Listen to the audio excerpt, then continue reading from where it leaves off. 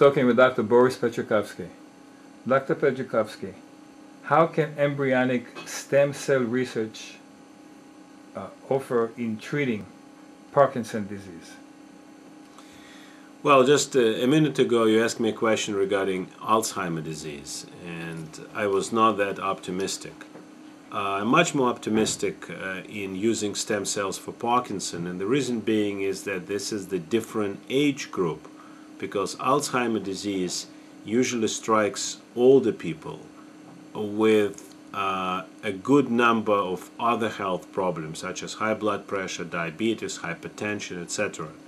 So um, the the complex uh, the complexity of the case is usually much more prominent compared to the cases of Parkinson disease that usually affects middle-aged uh, individuals.